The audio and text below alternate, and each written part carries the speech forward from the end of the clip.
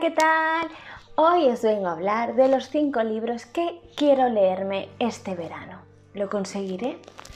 No lo sé, porque este tipo de vídeos cuando lo hago de qué quiero leer, qué voy a leer, después aparecen otros libros por el medio y no lo leo. Pero bueno, la intención es lo que cuenta. Yo creo que son libros bastante veraniegos o que a mí me apetece leer en verano.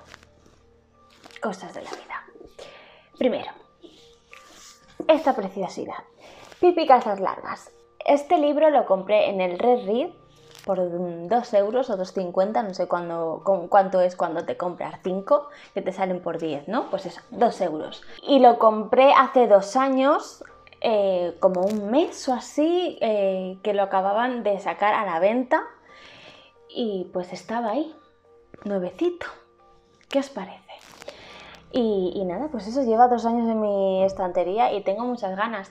Eh, para mí Pipi me recuerda mucho al verano, porque yo creo que la primera vez que vi Pipi era en las vacaciones de verano cuando yo era peque.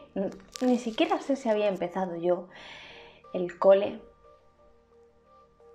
O estaba todavía en la guardería. No, no puede ser la guardería. No me acordaría. Pero sería primero de primaria, segundo de primaria, no sé. Era muy pequeña yo. Y, y eso, y es como una historia muy de verano, de vacaciones. Otro libro que me compré el año pasado, pero creo que fue que ya era como a finales de verano y tal, y ya no lo empecé, y como que quería leerlo en verano, y es eh, Las Vírgenes Suicidas. Además con esta edición súper chula que sacaron de anagrama que estaban por 10 euros así de bolsillo, súper chula. Y, esta, y este libro es muy de verano también aunque seguramente me deprima un poco, pero bueno. Otro libro que también compré, este hace más que lo compré, pues no sé si hace unos 5 años, también en un San Jordi, en un puesto de libros de segunda mano, Tomates Verdes Fritos.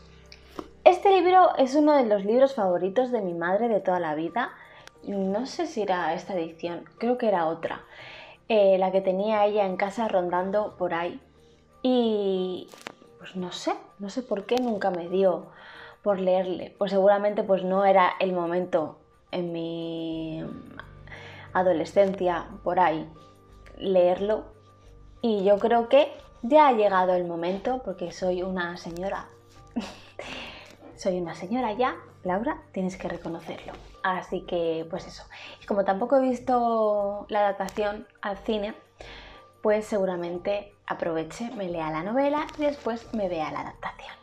Otro libro de una autora que yo normalmente leo en otoño, que de hecho me queda el último libro de su última trilogía por leer, pero es que lo tengo que dejar para otoño porque es la época en la que tengo que leer esa historia y estar con esa familia. Pues mm, lo siento, es así, es una tradición familiar ya de los Lennox y yo. os estoy hablando de Victoria Álvarez. Pero mi chico me regaló en Navidad Silverville, que es una novela autoconclusiva de la autora. Y esta novela es que mm, es muy del oeste, ¿vale? Entonces yo pienso en el oeste y pienso en verano. El oeste es verano. ¿Cuándo veíamos las pelis del oeste? En verano, antes de ir a la piscina. Tú no sé, yo las veía así. Así que eh, pues este seguramente caiga también. Y no sé cómo que me veo yo en la piscina, esa piscina, esa playa que no voy a ir este verano, en la terraza de mi casa, me veo con el bikini y, leyendo Silverville. No sé. Y por último, también en verano me suele gustar mucho leer eh, thrillers, libros de crímenes y tal. Entran como muy fresquitos, me encantan. Y em, tengo esta recopilación de relatos de Bradbury, que no es de la serie nueva, porque esos están en Valladolid, que en verano cuando pueda ir em, los eh, conseguiré. O sea, están, los tiene mi madre guardados para mí. Pero tenía este de Ray Bradbury de Memorias de Crímenes. Y pues también he decidido que tengo que leerlo.